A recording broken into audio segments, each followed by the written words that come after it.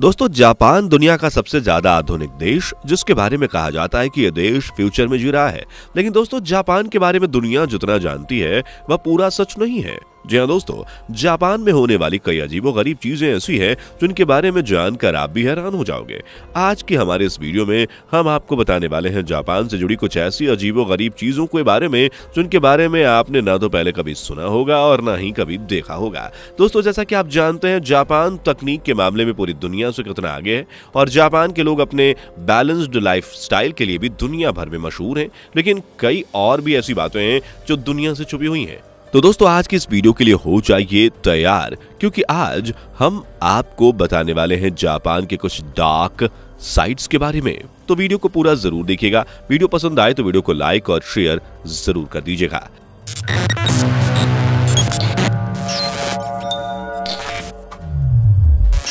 दोस्तों, जापान का rich culture नई नई तकनीक का इनोवेशन और अद्भुत नेचर लैंडस्केप दुनिया भर में जाना जाता है। इतना ही नहीं दोस्तों, आपको बता दें कि जापान दुनिया भर में अपने वेल मेंटेन्ड लाइफस्टाइल के लिए भी खूब फ़ेमस है। लेकिन वो कौन सी चीज़ें हैं जो जापान को दुनिया से अलग करती हैं? जापान से जुड़ी बेहद ही रोचक बातें चलिए आपको बताते हैं। नंबर वन अनयूजल बोटल साल 2020 में जापान की असाही वेवरेज कंपनी ने अपने पानी की बोतलों की बिक्री बढ़ाने के लिए अपनी सोडा बॉटल्स के डिज़ाइन को काफ़ी अट्रैक्टिव बना दिया। आपको बता दें कि असाही वेवरेज जापान में अपनी सीपीयू यानी कि काल्पनिक प्रोडक्ट्स के लिए जानी जाती है।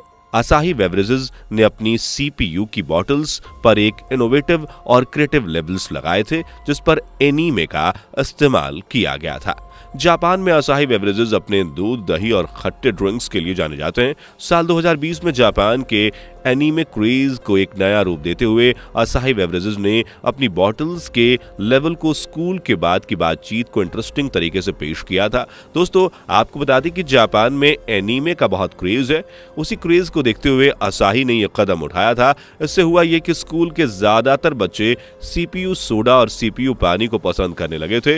बोतल पर your after school goes in motion जैसी स्लोगन भी छिपे हुए थे, जो इन लेवल्स को और भी ज़्यादा अट्रैक्टिव बनाते हैं। Number two living belonging unattended in cafes दोस्तों इमेजिन कीजिए कि आप एक कैफ़े में चाय या कॉफ़ी पीने गए। कुछ देर बाद आप कैफ़े से निकल जाते हैं और बहुत दूर आ जाते हैं। तभी आपको पता चले कि आप गलती से अपना वॉलेट या सेल फ़ोन तो कैफ़े में ही भूल गए हैं। क्या लगता है, वापस जाने पर आपको आपका वॉलेट या फ़ोन वापस मिलेगा?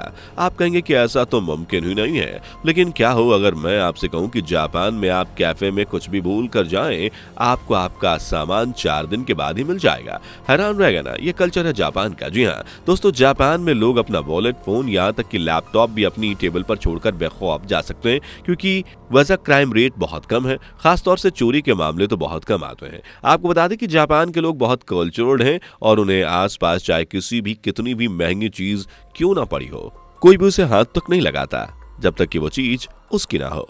क्यों? है ना कमाल की बात। Number three no staff in restaurants दोस्तों, जापान तकनीक के मामले में दुनिया से कितना आगे है, इस बात का अंदाज़ा आप इसी बात से लगा सकते हैं कि जापान में रेस्टोरेंट्स में कोई भी वेटर इंसान नहीं होता, बल्कि ज़्यादातर रेस्टोरेंट्स में रोबोट या एआई मशीन का ही इस्तेमाल किया जाता है। जापान में फ़ूड ऑर्डर करने के लिए या तो रोबोट की स्क्रीन पर टच करके आप कर सकते हैं, या फिर रेस्टोरेंट के आपने खुद के एप्स भी हैं। जिन्हें इंस्टॉल कर आप अपना ऑर्डर कर सकते हैं। फ़ूड डिलीवरी की बात करें तो कई रेस्टोरेंट्स में रोबोट फ़ूड सर्व करते हैं तो कई में मशीन्स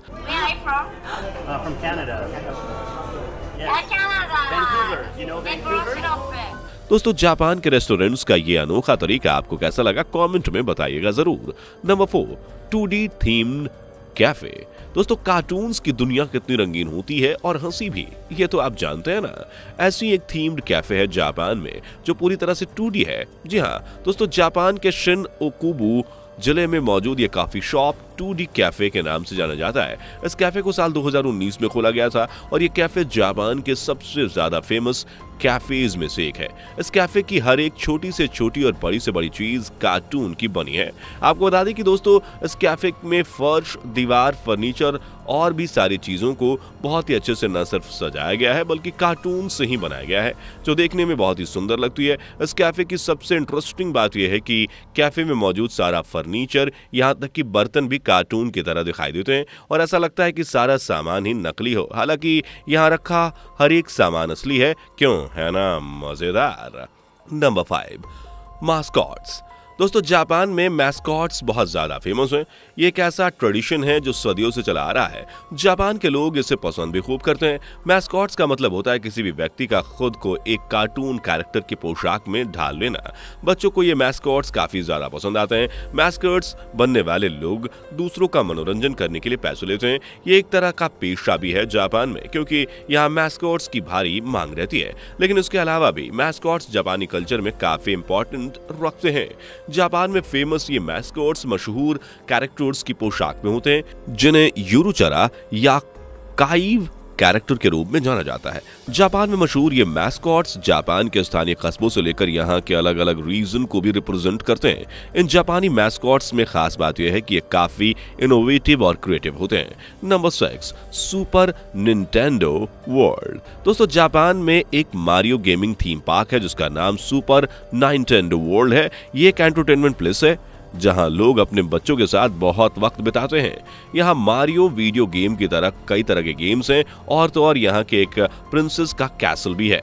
इसके अलावा यहाँ लोग सुपर कॉइन्स बंद भी कलेक्ट कर सकते हैं, जैसा कि वीडियो गेम्स में होता है। दोस्तों, सुपर नाइनटेंडो वर्ल्ड अपने आप में एक अनोखा थीम्ड पार्क है, जहाँ हर चीज़ गेम की तरह रियल लगती है। Number seven, it is considered rude to give. Tips in Japan. दोस्तों, जापान अपने रिच लाइफस्टाइल के लिए जाना जाता है और यहाँ के लोग काफ़ी ज़्यादा लग्जरियस लाइफ जीते हैं। यही वजह है कि यहाँ चोरी जैसी घटनाएँ बहुत कम देखने को मिलती हैं। जापान में टिप देना भी गलत माना जाता है। किसी भी रेस्टोरेंट्स या कैफ़े में वेटर्स के अच्छे व्यवहार के लिए उन्हें टिप दी जाती है, लेकिन जापान इस कल्चर को फॉलो नहीं करता। यहाँ टिप देना न सिर्फ़ रूड समझा जाता है, बल्कि ऐसा माना जाता है कि टिप देकर वेटर की फाइनेंशियल कंडीशन का मज़ाक उड़ाया गया है। यही वजह है कि जापान में टिप देना सही नहीं समझा जाता। इसी की जगह किसी भी वेटर की सर्विस को खुश होकर उन्हें थैंक यू कहा जाता है। Number eight transparent public toilets दोस्तों, जापान के टोक्यो में ट्रांसपेरेंट यानी शीशे के पब्लिक टॉयलेट्स बनाए गए हैं, जो कि हर किसी के लिए बिल्कुल फ्री तो यूज़ है।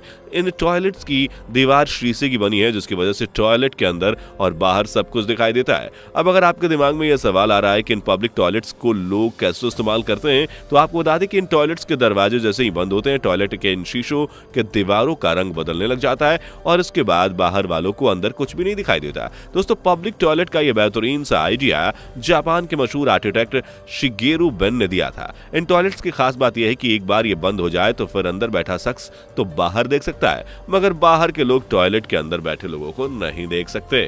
तो दोस्तों, ये थी आठ ऐसी अजीब गरीब बातें जो आपको सिर्फ़ जापान में देखने को मिलेंगी। इनमें से कौन सी बात आपको सबसे इंटरेस्टिंग लगी, हमें कमेंट करके ज़रूर बताइएगा। वीडियो को लाइक शेयर और चैनल को सब्सक्राइब ज़रूर कर दीजिएगा। दोस्तों, आपको स्क्रीन पर दो और वीडियोस दिखाई दे रही हैं, जिसे देखने के लिए स्क्रीन पर क्लिक करें।